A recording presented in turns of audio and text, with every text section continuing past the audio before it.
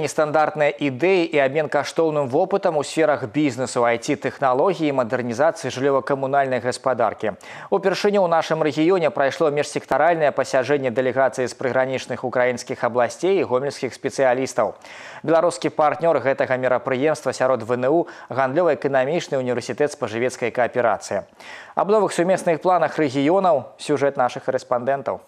Падарожжа па камунальных прадпрыемствах і тэхнапарку, міжсектаральнае пасяджэнне па жыллёва-камунальнай гаспадарцы і інфармацыйных тэхналогіях. Дзень для ўдзельнікаў праекта быў не толькі насычаным і актыўным, але і вельмі прадуктыўным. Вопытныя украінскія бізнесмены і кіраўнікі адразу азначалі для сябе накірункі, якія можна развіваць на сваёй радзіме. Напрыклад, у гомельскім тэхнапарку яны пазнаёміліся з IT-інфраструктурай гомельскай вобласці. Такие встречи помогают налаживать связи, устанавливать новые контакты.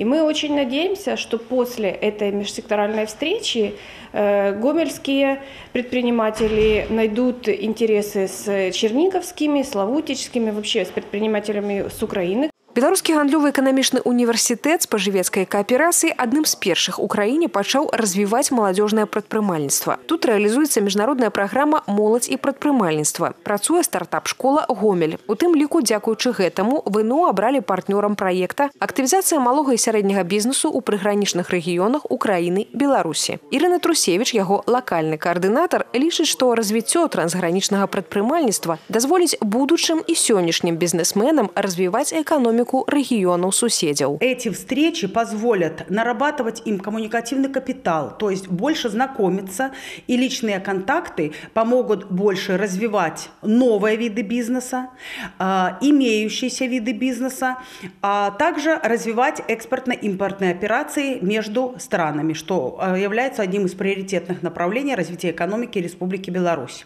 Падчас пасяджэння, якое адбылося ў канферэнц-зале беларускага гандлёва-эканамічнага універсітэта спажывецкай кааперацыі ішла размова аб новых шляхах супрацоўніцтва. Удзельнікі сустрэчы абмяняліся ўражаннямі аб убачаным падчас візіту на камунальнае прадпрыемства спецкамунтранс. Зараз ва ўкраінскіх рэгіёнах сістэма другаснай перапрацоўкі камунальных адходаў толькі на пачатку развіцця. Общались с украинскими коллегами. В Чернигове нет э, такого завода, как у нас спецкоммунтранс по сортировке, переработке, изготовлению а, продукции из а, отходов пластиковых. То есть вот у нас сегодня были, коллеги очень сильно заинтересовались, было им очень интересно по этому вопросу. Плюс а, проводится у нас тепловая модернизация значит, жилого фонда.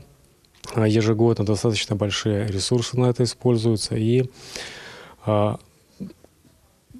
по капитальному ремонту до 3% планируют довести у нас э, объемы введения домов после капитального ремонта к 2020 году. То есть есть такие достаточно серьезные положительные моменты э, в работе жилищно-коммунального хозяйства Республики Беларусь Украінскі славуціч знаходзіцца ўсяго 15 кіламетрах ад беларускай мяжы. Зносіны з нашай вобласцю добрасуседскія і трывалыя. Тэма мадэрнізацыі жыллёва-камунальнай гаспадаркі там вельмі актуальная. Славуціч, можна сказаць, з'яўляецца флагманам сучасных новаўвядзенняў у гэтай сферы. Суседзі заўсёды пільна разглядаюць беларускі вопыт у галіне жыллёва-камунальнай гаспадаркі і дзеляцца сваім. Реформировали коммунальную сферу Славутича таким образом, что у нас Э, уже 15 лет нет такого понятия, как ЖЭКи в городе вообще.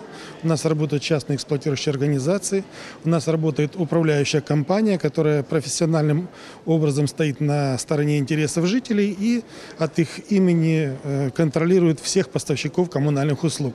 Дзякуючы рэалізацыі праекта актывізацыя малога і сярэдняга бізнесу ў прыгранічных раёнах Украіны Беларусі у гомельскай вобласці створаныя цэнтры трансгранічнага супрацоўніцтва. Хутка яны будуць забяспечаны офісным і камп'ютарным абсталяваннем. Працаваць у іх будуць падрыхтаваныя ў межах рэалізацыі праекта кансультанты. У прыватнасці імі стануць спецыялісты, якія маюць дачыненне да знешнеэканамічнай і прадпрымальніцкай дзейнасці, вопыт работы з міжнароднымі праектамі, разбіраюцца ў пытаннях мытнага афармлення грузаў. Першая кансультацыя за запланавана на люты. Марына Джалая, Вольга Канавалова, Андрей Іваноў, Яўген Макенка, тэлерадыокампанія Гомель.